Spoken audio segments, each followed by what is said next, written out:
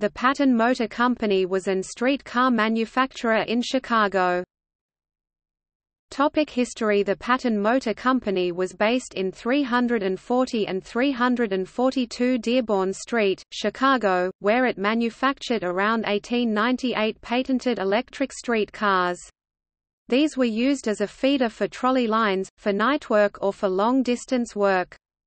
They were particularly adapted for service where, because of operating expense, the trolley equipment was unsatisfactory.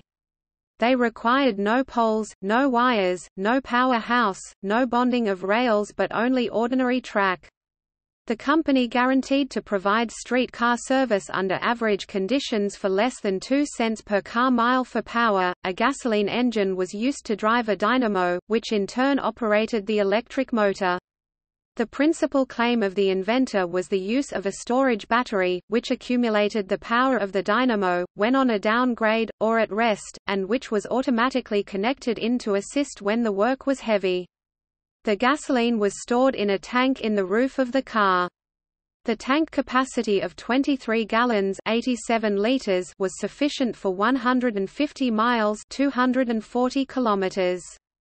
During a trial run at Racine, Wisconsin on 8 July 1896 over the line of the Chicago, Milwaukee, St. Paul and Pacific Railroad the car attained at times speeds of 25 miles per hour 40 kilometers per hour and surmounted grades of up to 55 feet to the mile without difficulty beyond perceptibly slowing down. The motor cars were used as a smoking car and motor at the Chattanooga Rapid Transit Company and as an independent motor by the Cedar Falls Iowa and Normal Railway.